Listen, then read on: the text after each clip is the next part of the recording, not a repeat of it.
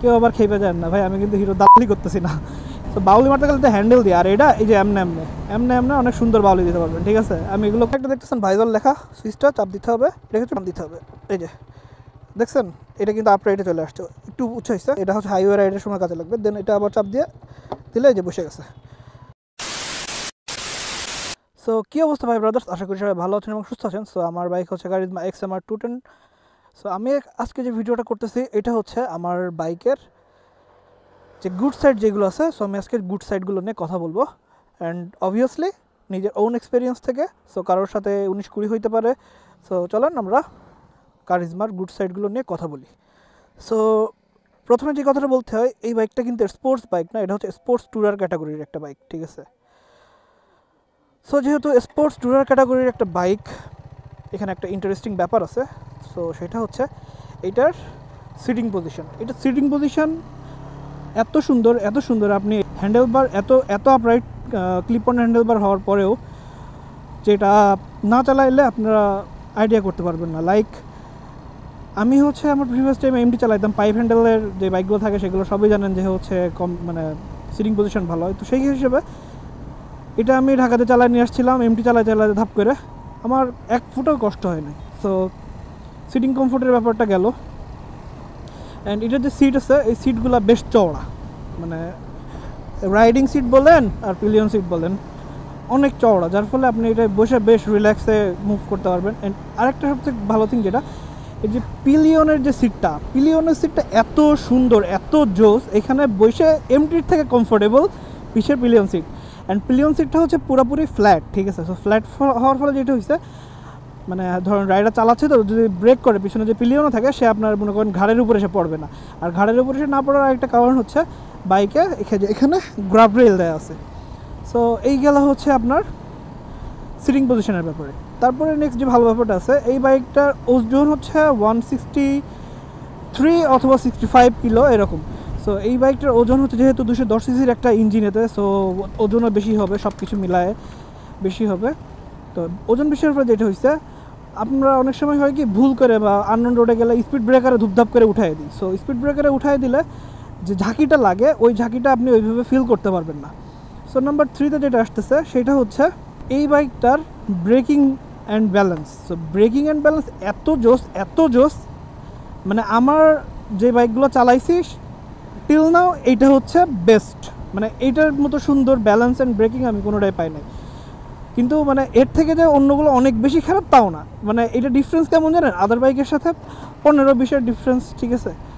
So balance and breaking গেল। তারপরে আমরা যেটা আসে হচ্ছে হেডলাইটের আলো। সো হেডলাইটের আলো যেটা, এটাও মাসাল্লাহ অনেক ভালো। আমার তো লাগে না ফগ লাইট আমার আগাগোড়ায় কোনো বাইকে হেডলাইটে ফগ লাইট লাগে না। এর হচ্ছে এলইডি বাল্ব মানে টোটালি ইন্ডিকেটর সহ সব কিছু এলইডি এতে কোনো হচ্ছে বাল্বের সিস্টেম নেই, পুরোটা হচ্ছে এলইডি ল্যাম্প সো এর হেডলাইটের আলো যথেষ্ট পরিমাণ ভালো, যথেষ্ট ক্লিয়ার আপনারা রাত্রে রিল্যাক্সে রাইড করতে পারবেন। তারপরে যদি আসি হচ্ছে এর সুইচগুলোর দিকে, তো সুইচগুলো বেশ ভালো মাসাল্লাহ কোয়ালিটি মোটামুটি আমি স্যাটিসফাইড সুইচের কোয়ালিটি নিয়ে। অ্যান্ড এই বাইকের আরেকটা ভালো ব্যাপার আছে, এর যে স্পিডোমিটারটা স্পিডোমিটারের মধ্যে অনেক অনেক অনেক ফিচার আছে, অনেক ফিচার ঠিক আছে? সো আমরা স্পিডোমিটারের যে ফিচারটা আছে, এগুলো নিয়ে আমরা পরে একদিন আলাপ আলোচনা করব। আর এর যে লুকিং গ্লাসটা আছে লুকিং গ্লাসের ভিজিবিলিটি দেখছেন? মানে আমি চাইলে এটা আরও দিকে ঘুরে দিতে পারব। একদম পুরো দুই সাইড এ মাথা ও মাথা সবই দেখা যায়। সো লুকিং গ্লাসের ভিজিবিলিটি গেল। তারপরে যেটা আসে সাসপেনশনের ফিডব্যাক সাসপেনশন ফিডব্যাক অস্থির, ঠিক আছে? যারা এন টু ফিফটি চালাইছেন কাইন্ডটা সিমিলার এটার সাসপেনশন ফিডব্যাক মানে ভাঙার মধ্যে খুব একটা ঝাঁকি ফিল করা লাগে না। তারপরে যেটা আসে, সেটা হচ্ছে, এটার যে ডিস্ক আর এটা তো ডবল চ্যানেল এবিএস সহ আসে, সবাই জানেন কম বেশি। সো ডবল চ্যানেল এবিএসে আমি R one five version three Indian যেটা চালাইছিলাম, ওইটা কী হইতো? এবিএসে যদি ঝেড়ে ঝুড়ে ব্রেক মার হয় এবিএস ঝেড়ে ঝেড়ে ব্রেক মারলে মানে উল্টো পুশ দিত মানে হচ্ছে লিভার বাড়ি মারতো।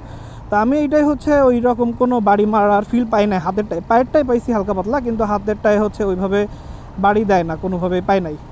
সো এই হচ্ছে আরেকটা ব্যাপার গেল। দেন হচ্ছে যেটা আসে, সেইটা হচ্ছে এই যে ভাইজরটা, এর ভাইজরটা না হচ্ছে আপ ডাউন করা যায়। আপনাদের একটু যদি আমি দেখাই এক মিনিট। একটু বাইক সাইড করে নিই। সো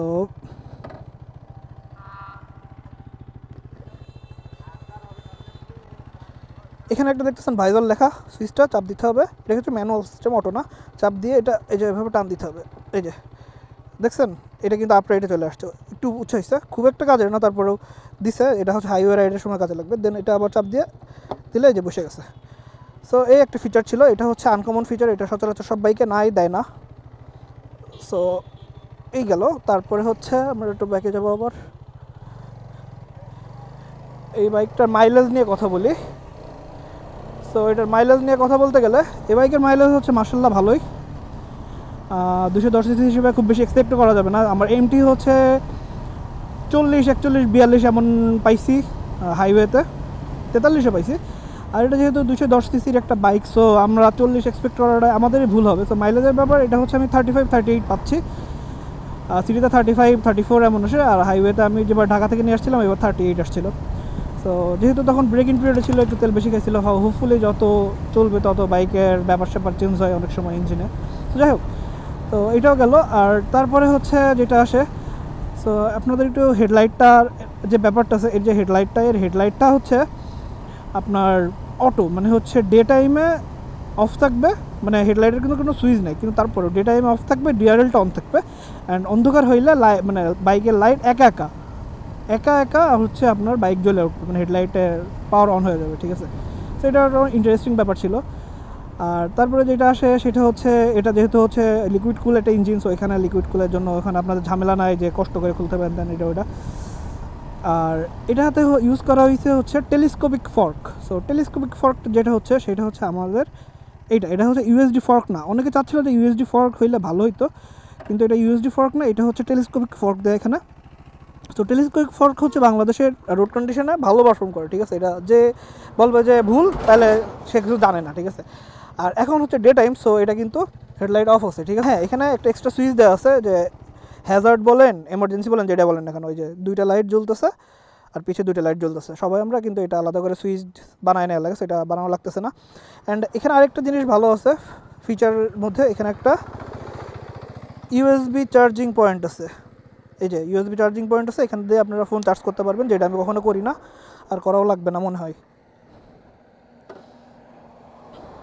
আর মেইন যে স্পিডোমিটারের যে ব্যাপার স্যাপার আছে, এটা আমরা খুব তাড়াতাড়ি আলাপ আলোচনা করব আপনাদের সাথে।